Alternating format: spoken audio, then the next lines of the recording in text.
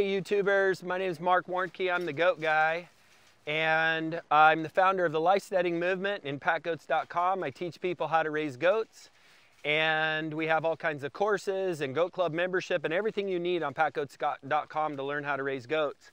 Um, and one of the things I am a big one for is uh, ease. I want an ease and efficient system. And one of the hard systems is watering. And running these floats is a really nice super thing. It attaches onto the edge, you turn the water on the hose, it senses when it's low, and it always keeps it full. And it is so nice to have that. It's awesome. The other thing that we're experimenting with this year is this Y. So if you look at this Y in the circuit, this thing is called a freeze miser, I believe is what it's called. And at a certain temperature, it turns on and has this hose run. And what that does is allow for this hose not to freeze during the winter.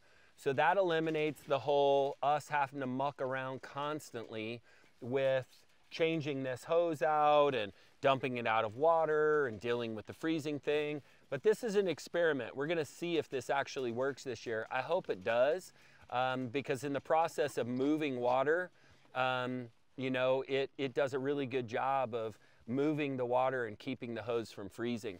So we hope that works this year. We'll report back to you, let you know how it goes this winter. I'm a little skeptical with this one because the hose is so long that I think we may have issues with it, but we'll report back and let you know how that goes. But I do suggest these floats, they're awesome.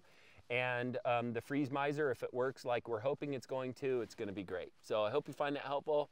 Mark Warnke signing out. Make sure you subscribe, click, leave us a comment, and go to packgoats.com. And um, if you need to know more about raising goats, look at there. All right, take care.